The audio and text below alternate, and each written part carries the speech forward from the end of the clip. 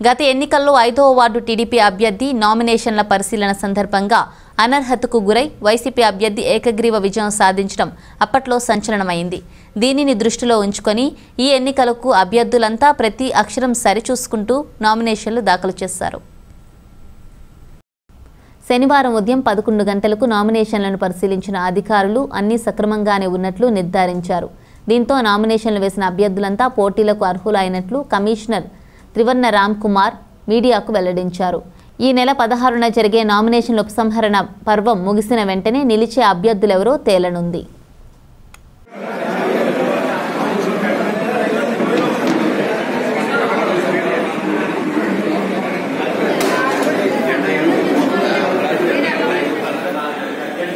అభ్యర్థ?